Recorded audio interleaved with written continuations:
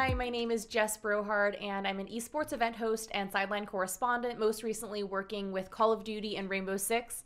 And I'm so excited to be here rocking my SSU esports jersey because this semester, spring 2021, I'm going to be joining up as an adjunct faculty member at Shawnee State to teach Intro to Esports. Now, I first got involved in esports as a job back in 2014. So I was working for Curse at the time, providing um, general non competitive gaming coverage, but I wanted to transition into esports. So I started a Dota 2 series for Curse's YouTube channel.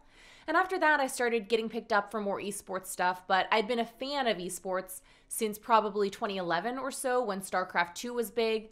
I never really played the game, but I loved watching primarily for the commentary, especially Tasteless and Artosis.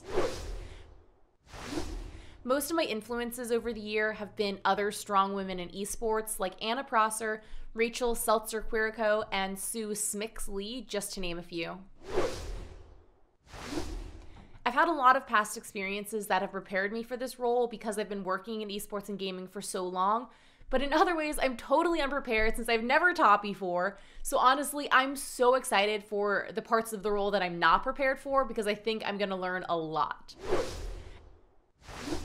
As far as where esports is going in the future, of course, it's only going to continue to grow. But I think mobile gaming in particular is going to be huge. There's already a thriving PUBG mobile scene. I even hosted a COD mobile competition a few months back, and we all saw the explosive popularity of Teamfight Tactics and Dota Underlords. Esports, competitive gaming, and gaming in general have brought so much joy to my life. They provided me an amazing career where I've gotten to do some really cool things that I never had dreamed of.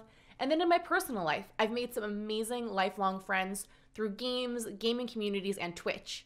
So I'm super excited to see where esports goes and to teach Intro to Esports this semester.